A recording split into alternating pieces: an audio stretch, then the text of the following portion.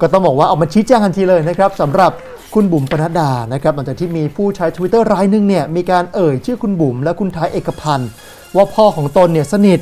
แล้วก็มีการร่วมพูดคุยกันกับทั้งสองคนถึงเรื่องคดีที่กำลังดังอยู่นะตอนนี้แหละ ล่าสุดทีมข่าวสอบถามไปยังคุณบุ๋มนะครับเจ้าตัวก็บอกว่ายอมรับว่าตกใจมากนะ แล้วก็ยืนยันว่าไม่ได้รู้จักกับบุคคลนี้ตามที่อ้างอย่างแน่นอน ส่วนตัวเนี่ยชัดเจนในเรื่องคดีของแตงโมมาโดยตลอด และไม่จำเป็น ต้องไปแอบคุยกับใครในเรื่องนี้อะลองฟังให้บุ๋มคุยกันดูฮะว่ารู้จักกับคนนี้ไหม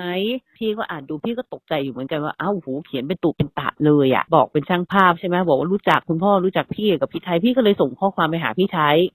ว่ารู้จักคนนี้ด้วยไหมอะไรอย่างเงี้ย ก็พี่ไทยก็บอกไม่รู้จักจะทำไมพูดจาเหมือนสนิทกันมากอะไรอย่างเงี้ยค่ะ ก็เลยต้องเขียนชี้แจง เพราะว่ากลัวว่าเขาจะเอาเราไปอ้าง แล้วก็เขียนเรื่องน้องแตงโมแบบผิดๆนะเราก็แบบเออเราก็อยู่ตรงนี้ของเราเนาะแบบ พูดอะไรมีอะไรคืบหน้าข่าวอะไร เราก็ว่าเราก็ชัดเจนทุกอย่างนะ ไม่มีต้องมานั่งแอบคุยกับใคร ไม่มีแน่นอนอะ่ะ ก็เลยตกใจอยู่เหมือนกันว่าอุ้ยทำไมเขาทำได้ขนาดนี้เขาคงอินจัดจนจนจน จนอยากมีส่วนร่วมหรืออยากหาทางออกด้วย หรือยังไงพี่ก็ไม่แน่ใจ แต่แต่เราก็เออไม่มีโอกาสได้คุยกับเขาอะเนาะว่าเออมันเป็นมายังไงทำไมถึงเขียนอะไรขนาดนี้อะค่ะ ข่าวเรื่องน้องแตงโมเนี่ยความเป็นจริงคืออะไรก็ยังไม่รู้ ดังนั้น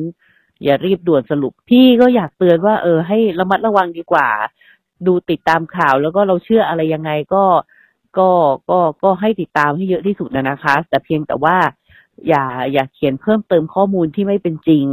แบบนี้ไปนะคะ เพราะมันไม่ไม่ดีกับตัวคุณเอง แล้วก็มันไม่ดีกับหน้าที่การงานของคุณรวมทั้งเป็นการนำข้อมูลเท็จเข้าสู่โซเชียลด้วย อันนี้มันมีความผิดนะถ้าพี่เอาผิดนะ